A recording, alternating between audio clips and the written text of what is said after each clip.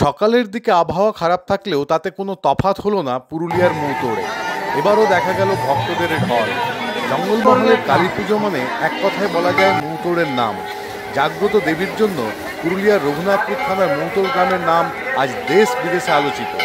এখানেই হয় জেলার সব থেকে বড় কালী পুজোটি প্রতিদিনই বহু মানুষের সমাগম হয় মৌতোড়ের কালী মন্দিরে।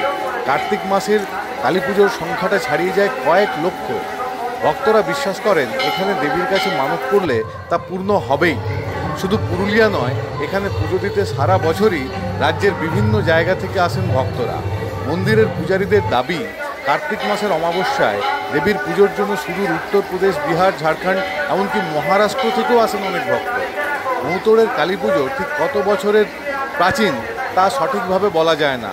তবে মন্দিরটি তিনশো বছরেরও বেশি প্রাচীন বলে জানা যায়। এই পুজোর প্রচলন করেন আদতে বর্ধমান জেলার বাসিন্দা শোভারাম বন্দ্যোপাধ্যায়। বর্তমানে প্রাচীন মন্দিরকে পুরোপুরি সংস্কার করে এখানকার মন্দিরকে গড়ে তোলা হয়েছে কালীঘাটের মন্দিরের আদলে।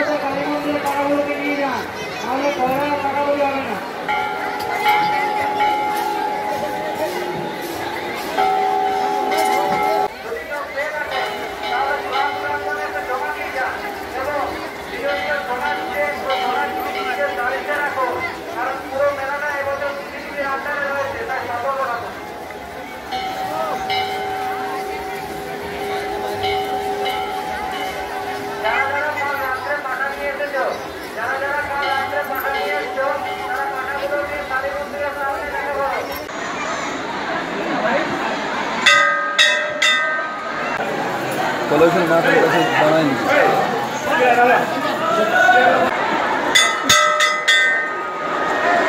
হ্যাঁ কান করে আড়াই যাওয়া বার করতে